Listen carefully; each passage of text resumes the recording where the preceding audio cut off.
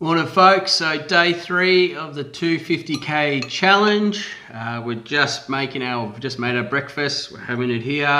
Um, I've already been for a run, I went for a fasted run, um, 3Ks, didn't make the full 3K, sort of fell short around about the two and a half kilometre mark.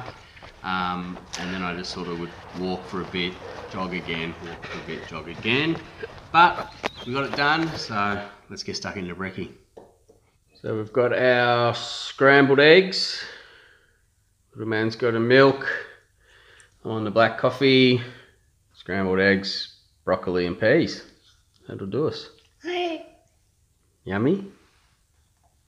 So today's lunch, sweet potato and salmon fillet. Salt and pepper, squeeze a lemon. Just measuring out tonight's dinner. Chicken thighs with a bit of broccoli and peas. We'll see you tomorrow.